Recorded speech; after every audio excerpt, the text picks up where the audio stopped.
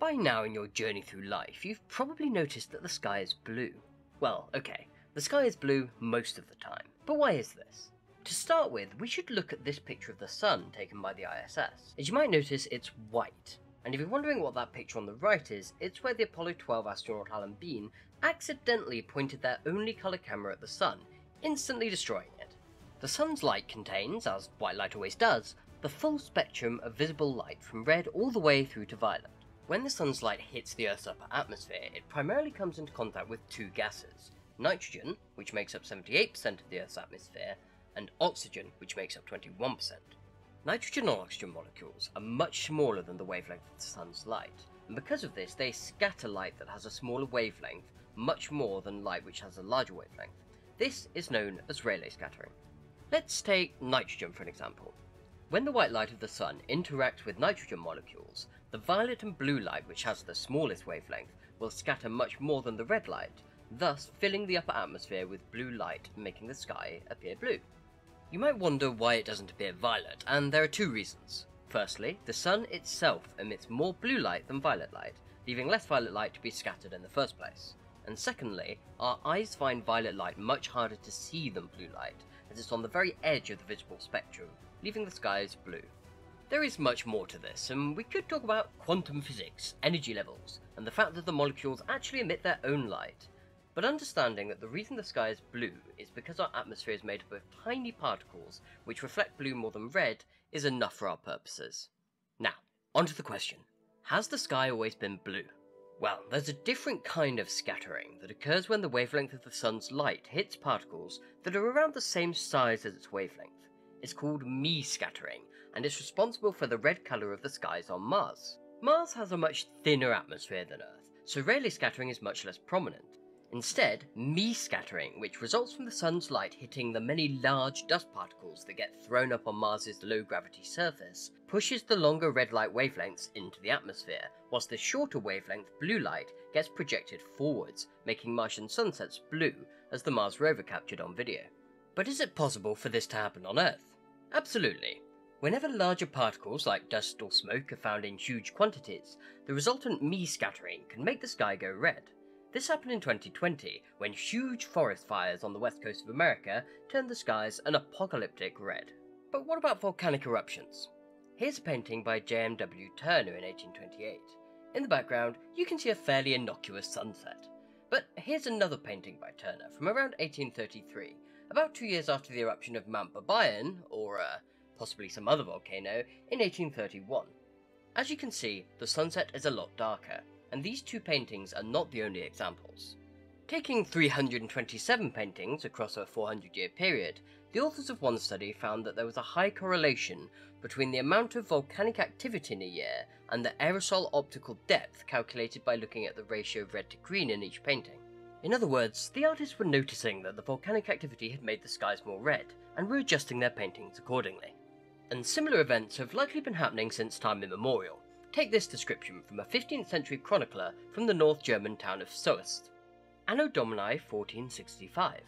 On the evening of the exaltation of the Holy Cross, the sun in the sky was so blue and the air so yellow that nobody knew what that might be. The sun's ring and its light were blue, and for some time red and white.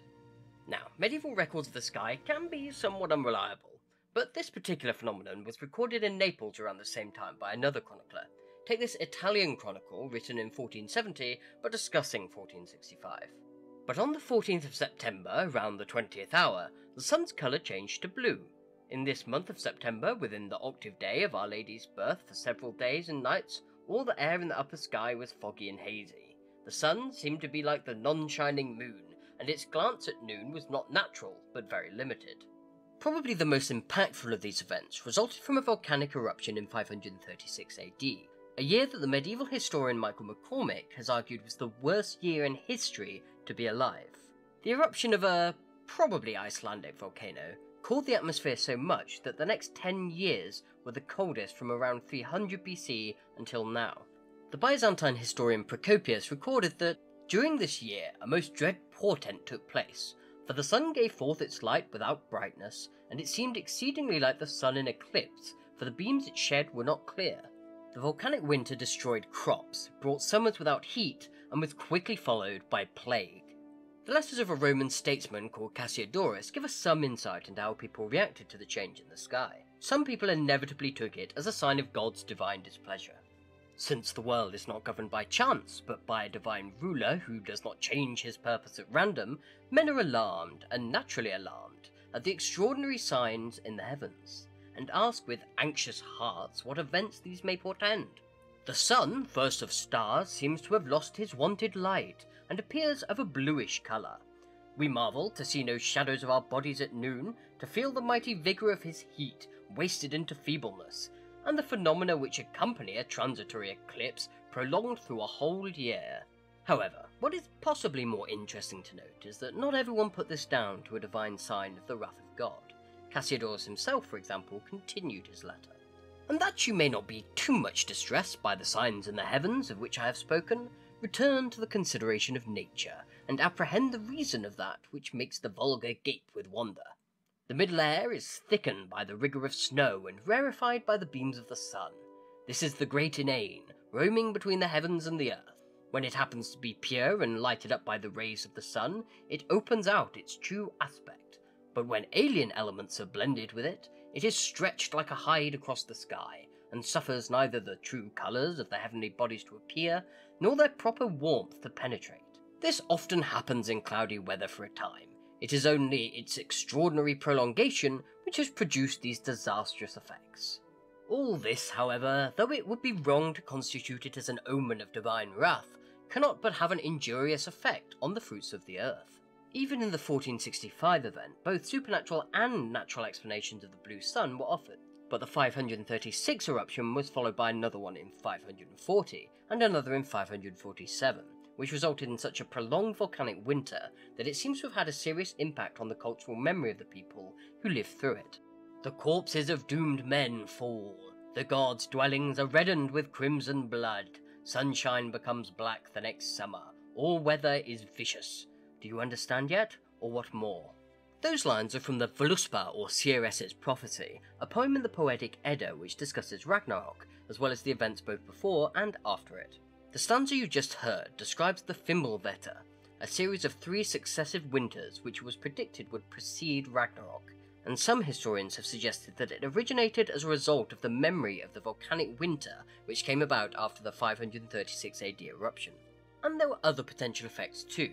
The historian Martin Axboe speculated that a number of Scandinavian gold hoards were actually attempts to sacrifice gold, a well established Scandinavian religious custom, in order to return the sun to its pre volcanic winter state. But whatever the case, the answer to our question seems clear. The daytime sky has not always been as blue as it is today. It has occasionally gone entirely red. And while such atmospheric phenomena may or may not be a sign of God's divine displeasure, it's never been a sign of good times to come either. What's the weirdest thing you've ever seen in the sky? Comment down below and don't forget to like and subscribe. A big shout out to my patrons. If you want to support the channel, see videos earlier, and join our community Discord, check out my Patreon in the description below the video. I'll see you next time.